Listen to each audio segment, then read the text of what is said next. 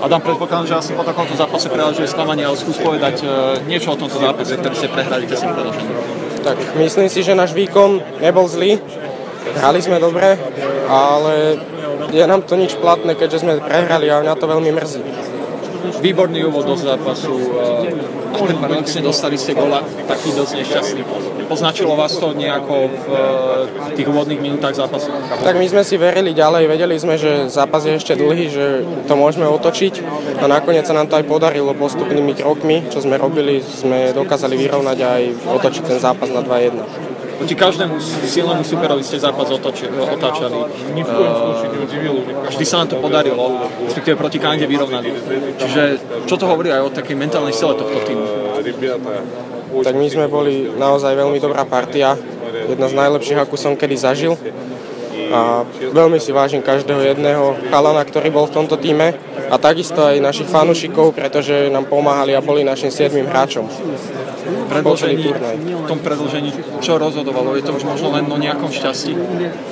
Tak snažili sme sa neriskovať zbytočné, snažili sme sa byť na puku, držať ho. No a myslím si, že to bolo aj o šťastí v tom predlžení, pretože my sme takisto mali nejaké šance, takisto sme mali tlak. No a ten gol, čo sme dostali, bolo proste, proste veľká smola. Tam vypadla hokejka, čo sa stane jedenkrát za zápas. A... S, Ka- s Kanadou prehra po predlžení, s Ruskom prehra po predlžení, s Fínskom prehra o gol. Čo, v čom teda zaostáva, ste zaostávali oproti tej svetovej špičke, že tak... hráte vyrovnané zápasy, ale vždy o ten jeden gol ste Najmä, najmä v tých prvých dvoch zápasoch s Fínskom a s Kanadou si myslím, že bola možno chyba, že vždy po našom gole sme inkasovali rýchly gol naspäť a vlastne sme im dali šancu a postavili sme ich trošku na konia z našej nedisciplinovanosti, takže myslím si, že tam bola trošku chyba, že nám vždy utekla, uteklo 30 sekúnd po našom vole alebo minúta a pol s Kanadou a na to mrzí naozaj veľmi.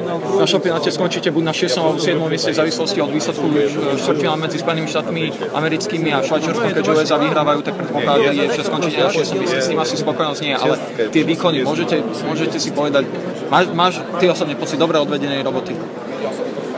Tak mám, mám pocit, že sme urobili veľmi dobrú robotu, to áno, určite.